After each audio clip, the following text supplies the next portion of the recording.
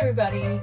Thanks for checking out my infrared sauna vlog and happy new year once again. We're a week into the year and it started off with a huge bang. We just got through a big eclipse and so there's a lot of energy, expansive and creative energy in the universe that we can harness and use to our benefit and hopefully for our highest good. Um, please subscribe. I'm, you know, putting a lot of time and energy into getting this information out to the world, and I think that it's really important that we all understand the universal laws and spiritual laws and try to really embrace that to become more expansive in our consciousness and more uh, operating from our heart chakras. And so, um, please subscribe. You will definitely learn something, and hopefully, I'll help you in some way that's very positive. So I'm going to be putting out a lot of new content this year. I'm very excited. And the first series of um, vlogs I'm going to do with the with in the sauna is the series on the 12 spiritual laws or the 12 universal laws. 12 energetic laws. These laws basically tell you how the universe works and how you can use the energy to manifest everything that you want in your life. Okay?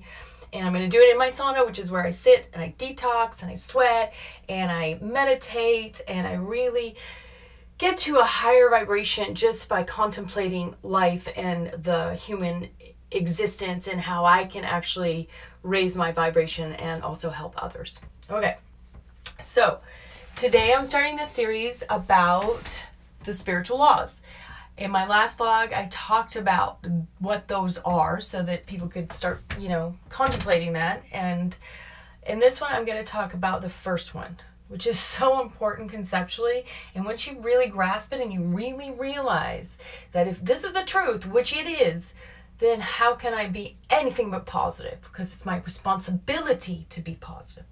But basically, the first universal law is the law of divine oneness.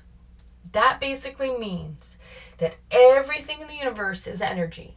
And everything, if you break it down to the teensiest, tiniest little particle, is still energy.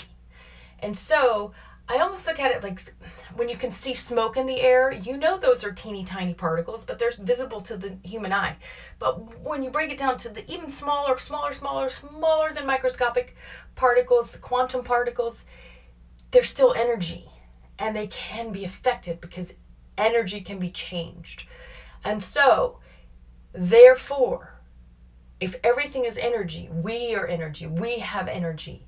And so, we affect the energy around us. Okay? And so, one really great way to describe it is the word namaste, which you may hear or have heard in yoga studios or whatever. But that is a really good single word to describe the law of divine oneness, which basically means I bow to the divineness in you. Which basically says I understand that we're all part of the greater energy. And that means, and it boils down to, what we put out there affects everything around us in some way. It's like throwing a stone into a calm lake. The ripples ripple out and affect everything in the lake to some degree.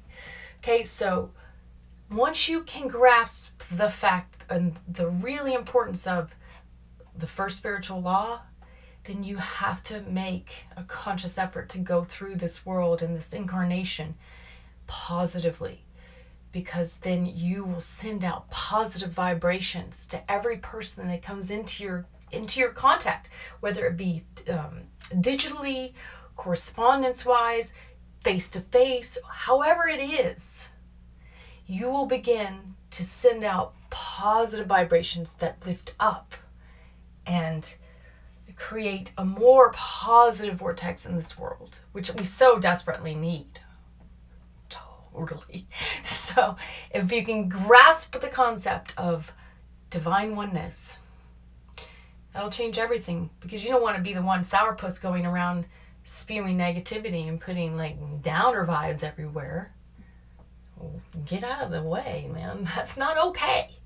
Okay, so embrace the concept that everything is connected and that everything you do as you go through your day can affect everything in this world that we know. All right?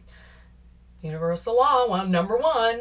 Check that off your list. Okay, so now I'm going to meditate on that myself.